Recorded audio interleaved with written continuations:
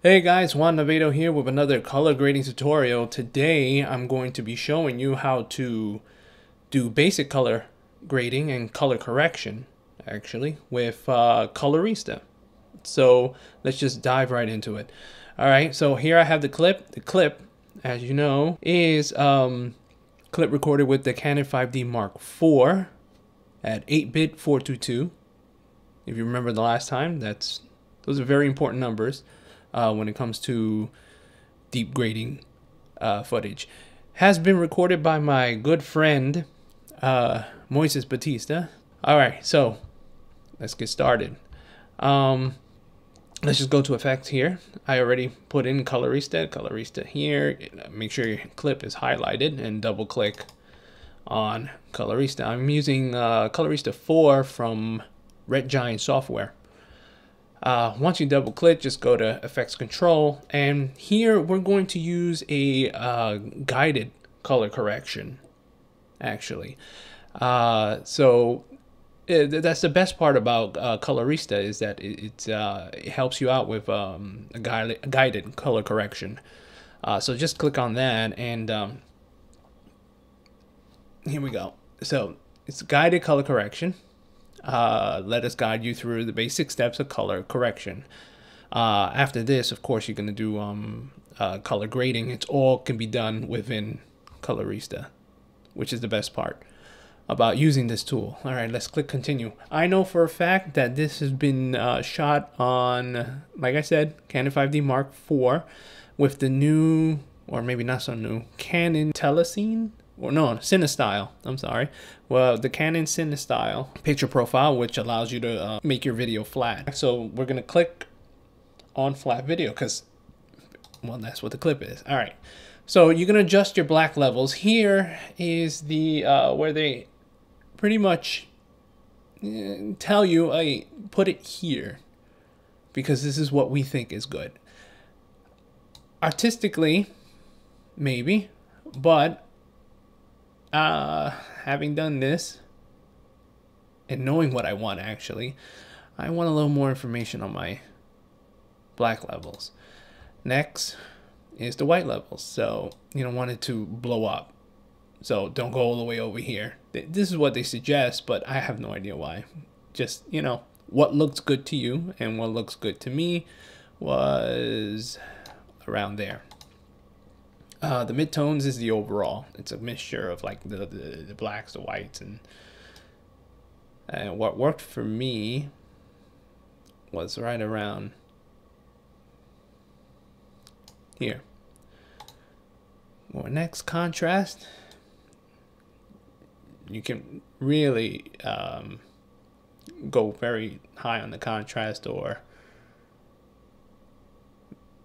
me, I personally liked right around here. All right, saturation. If you go here, you're gonna really like blow out every, you know, just too much color. As you can see here, goes off the wheel. Um, color pushed against the outside of circles are clipped. It may appear flat, and you don't want that. So just bring it down a little, right around right around there. I think that's safe. Uh, color temperature. We all know it's a sunny day, so let's, um, we could either go full orange, but the problem is it already started with it being outside the wheel, so let's, uh,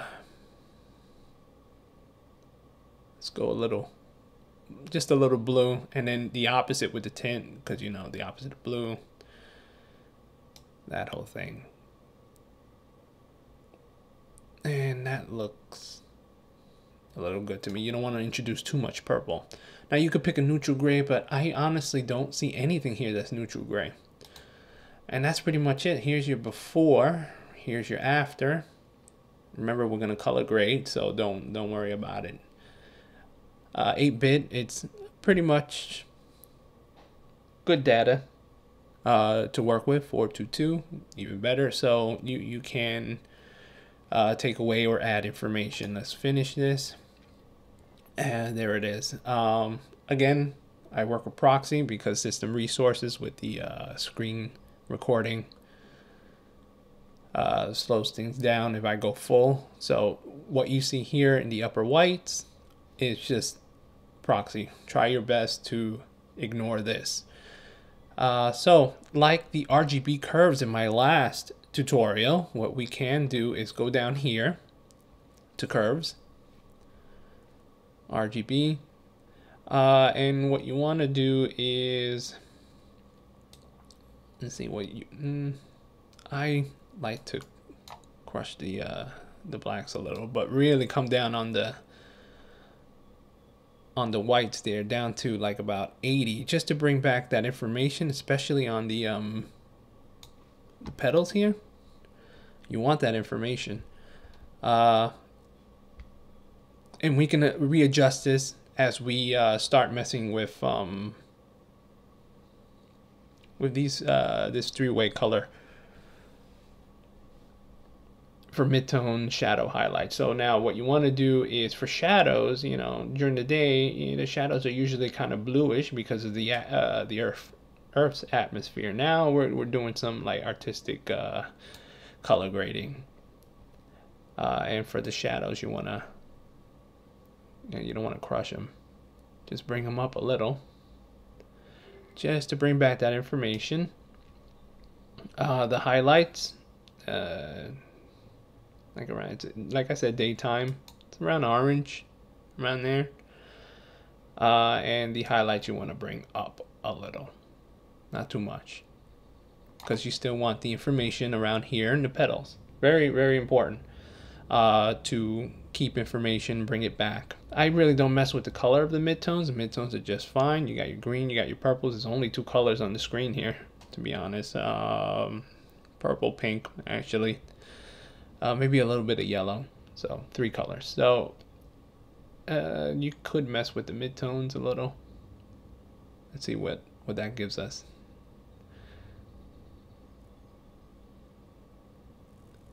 I actually like the looks of um, darker midtones.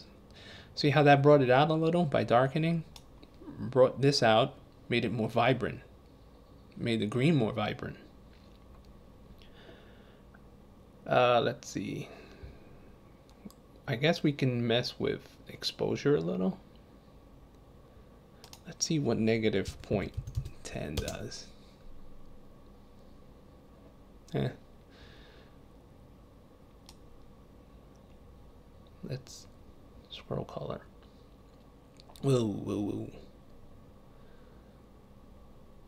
Okay, negative 20 looks good. Going down to saturation. Now we could add or we could subtract now that everything is, for the most part, settled. We can mess with this again. Uh, I'm going to see what more saturation will do.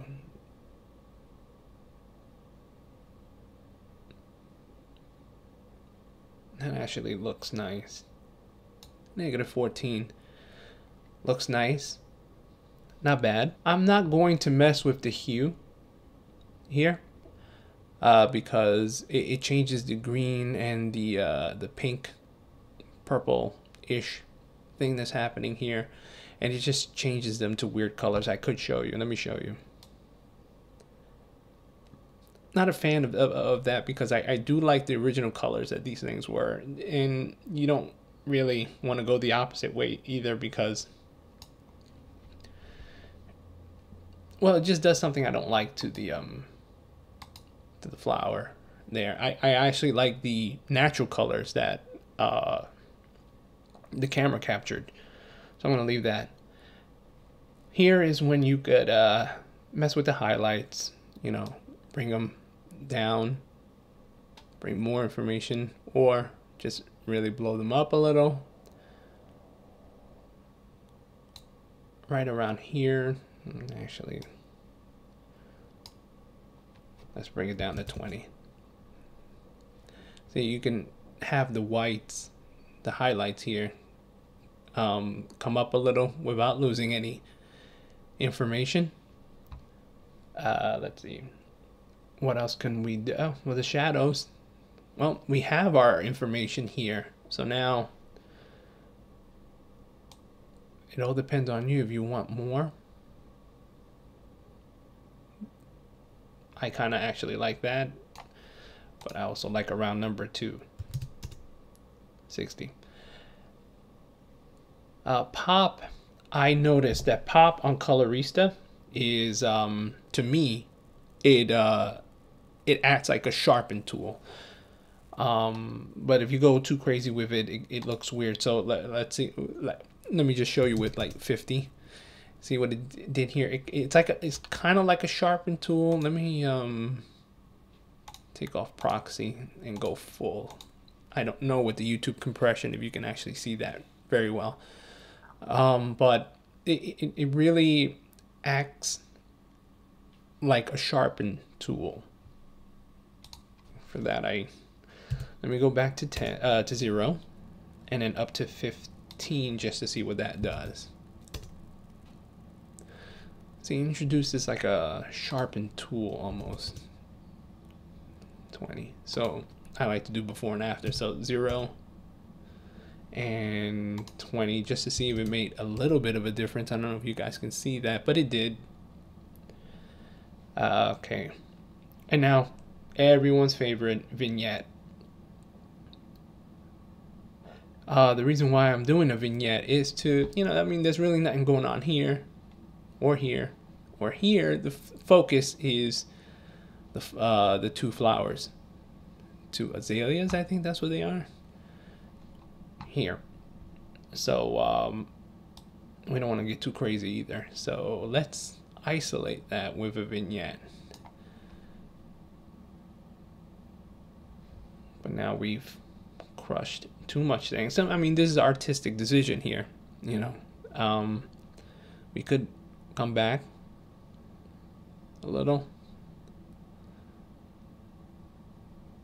Just so it could be resting at, at zero. I mean, it's, it's, it's art artistic. Even at um 30 here, you can still see um, that I'm trying to center your focus onto here, this.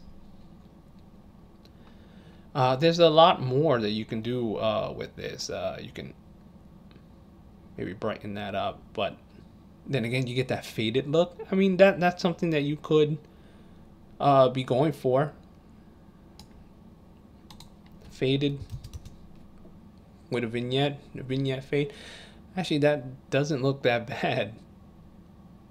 Uh, if you like that almost dreamy look.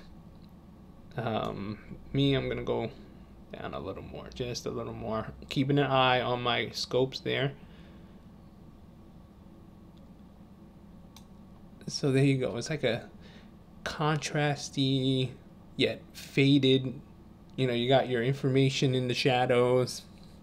You got your uh, your color is there. Um, everything is represented nicely. Uh, so th th that is the basics of uh, trying to play this. Hold on one second. Proxy and then bring it down to one fourth so that we can have somewhat of a decent playback. I'm gonna risk playing this back while I'm recording. Here we go. Oh God, it is choppy. I don't know if you can see that on YouTube, but it is. So there was no, um, like my last tutorial, there was no clip or uh, part of this clip that was uh, brighter or darker. This is just a steady shot at uh, at these two flowers. So it was very easy to grade this. It was easy to color correct it. You know, all you have is like a bit of yellow, definite greens, and pink purple. There was being registered as pink purple. But this was, for the most part, basic color correcting and basic color grading using Red Giant, uh, what I believe is their infamous tool, Colorista. Colorista 4 is what they're up to, I think. So there you have it, the basics of color grading and, well, color correcting, then color grading, using Colorista. Everything done in one simple tool from Red Giant software. It's, uh, it's a lot. It's a go-to to a lot of colorists a go-to tool. Um, I use it from time to time. It, it's it's really powerful when everything can be found in in one tool, where everything can be done in one tool. There's a lot more that you can do with this. Um, it, it, also depends on the complexity of your project, uh, but for the most part, everything I needed was in this one tool. Everything that needed to be done with this one clip has been done. You could do a little more, you can do a little bit less. it's up to you. It's all, that's the one thing about art. It's all subjective. Uh, this is what looked good to me. Something else could look good to you. Maybe when I was playing with the hue, uh, something, you know, stood out for you that it's a look that you like and you can achieve that. Give the video a thumbs up if you found it informative. Subscribe if you would like. And I will see you on the next tutorial. Thanks for watching.